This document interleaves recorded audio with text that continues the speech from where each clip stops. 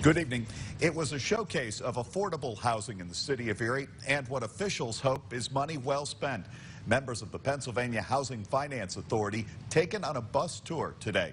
The story is new at 10 o'clock. Tiara Braddock went on that tour to see what it was all about and what officials hope to see. She joins us now in the control room. Tiara? Sean, PHFA has sponsored various projects around Erie, and today board members got to see those projects firsthand. Board members from the Pennsylvania Housing Finance Authority took a bus tour around Erie to see the projects they've sponsored up close and personal. But when you come to the community, you get a feel for what's happening. You get to see the residents there in their setting. Brian Hudson is the executive director of PHFA, which is a state agency that provides affordable housing resources, loans, and rent assistance.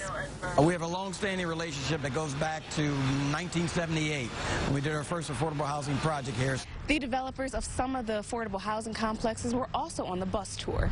It's given an opportunity to African Americans to be developers as well as general contractors, as well as be able to be role models to individuals that can that look like me.